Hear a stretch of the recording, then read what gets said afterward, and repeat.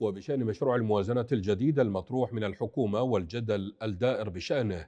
ينضم إلينا عبر الهاتف من أوسلو الخبير الاقتصادي العراقي الدكتور سنا عبد القادر. دكتور سنا مرحبا بكم.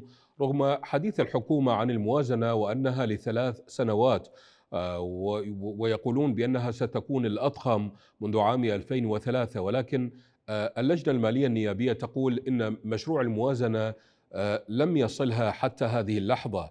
برأيكم لماذا هذا التأخير لا سيما مع الجدل الدائر حول الموازنة الجديدة دكتور؟ مساء الخير. أهلا بك سيدي. تحياتكم جميعا وإلى مشاهدي قناة الرافدين الفضائي. هذا الجدل حول الموازنة وحول وصول الموازنة يعكس عدم الترابط بين الحكومة العراقية والبرلمان.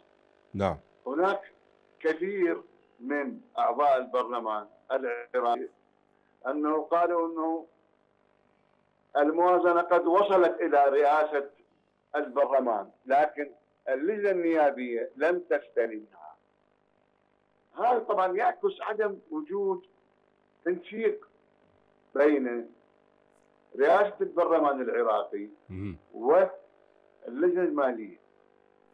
واحد اثنين بخصوص سعر البرميل نعم سواء كان 70 أو 65 نعم هذا يعكس لنا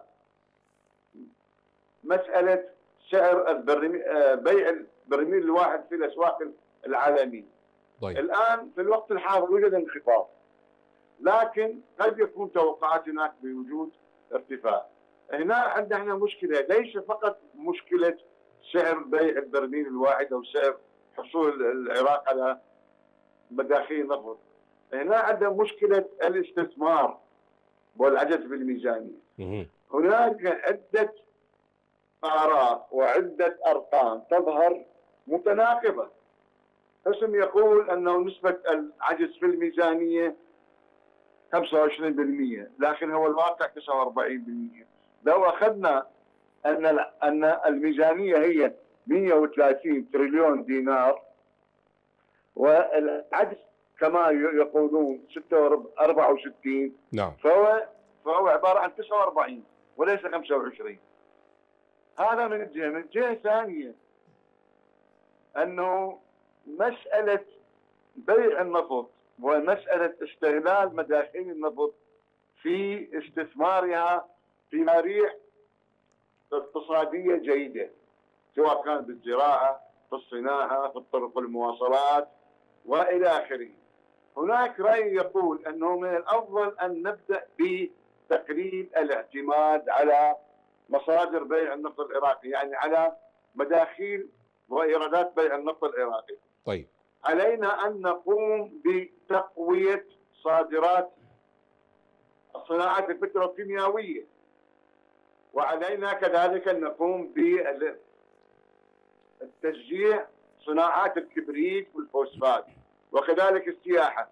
هذه كلها تدر آه، مداخيل جيدة للمواجهة العراقية. طيب دكتور حتى حتى لا نغادر هذه النقطة دكتور سناء أه، تعتقد أن موضوع تسعير برميل النفط ب 70 دولار وبالتالي تثبيته لثلاث سنوات أه، تعتقد أنه يعتمد على معايير علمية هل جربت هذه الخاصية في دول أخرى دكتور سناء؟ طبعا هو المفروض يعني لماذا نقول نحن لدينا اقتصاديين ولا ولا لدينا لجان مالية متعددة نعم. في كافة الوزارات؟ المفروض أن تكون هناك دراسة علمية لهذا الموضوع. ولا نحن لماذا نقول لدينا عدة لجان وعد لدينا عدة مستشارين؟ طيب اذا ما هو موقعهم من العراق اذا يجب أن تكون هناك دراسة كما هو موجود في بقية دول العالم قبل أن تضع الميزانية. هذا من جهة. من جهة ثانية أن وضع ميزانية لثلاث سنوات ممكن. وكما يقولون أنه سوف تتم بالدرجة الأولى هو ال الاعتماد على ميزانية السنة الأولى يعني 2023 نعم. أما بقية السنوات 24 25 فهي عباره عن مقترحات. يعني علينا أن نقوم بتنفيذ ميزانية 2023 بالدرجة الأولى نعم دكتور سناء الحكومة تعهدت بتعظيم الإيرادات لسد حاجة البلاد من ثم سد العجز المتراكم على الموازنات المتعاقبة ولكن السؤال المطروح هنا هل هناك فرصة للحكومة في ذلك غير فرض مزيد من الضرائب؟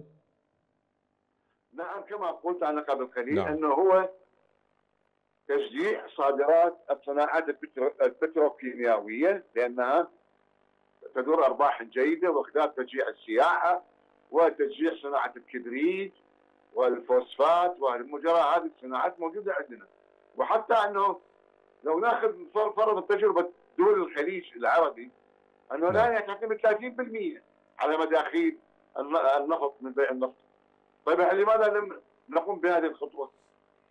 هذا من جهة من جهة ثانية الاستثمار يجب أن تكون في. الاستثمار يجب أن يكون في مشاريع اقتصادية جيدة هذا من جهة لكن من جهة ثانية عن علينا أن نفكر بعملية الفساد لأن هناك الكثير من المشاريع الاقتصادية التي تم صرف وتعيين مبالغ استثمارية جديدة من الموازنة الاقتصادية للعراق لكن لا زالت متلكئة ونسبتها كبيرة في التلكؤ نعم. بنسبة 60% 40% نعم. من أوسلو الخبير الاقتصادي العراقي الدكتور سنا عبد القادر شكرا جزيلا لكم.